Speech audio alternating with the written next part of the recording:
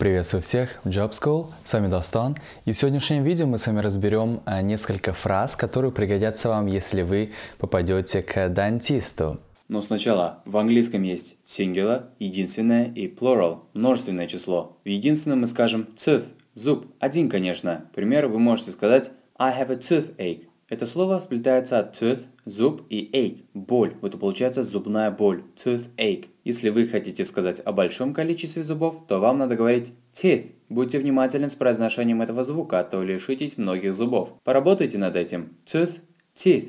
Зажимайте кончик языка между зубами. Следующее слово это Gums. Вы можете подумать, при чем тут жвачка у дантиста еще? Но gums – это то, что находится выше ваших зубов. Десна, конечно же. Это слово всегда во множественном числе в английском. Не говорите my gum, правильно будет сказать my gums. Давайте представим.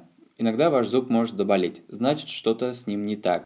Что вы будете делать в таком случае? Конечно же, звонить своему дантисту и записаться на прием. На английском это будет make an appointment. Глагол make и appointment. Встреча, прием. После того, как вы договоритесь, первое, что сделает ваш лечащий врач, это check up, то есть проверит ваши зубы. Также проведет X-ray, это снимок ваших зубов. Дальше дантист сам будет разбираться с вашими зубами. А на этом видео подходит к концу. Если вам понравилось, обязательно оставляйте ваши комментарии. А, и также напишите, какие топики вы хотели бы узнать на английском. Мы обязательно разберем в следующих уроках.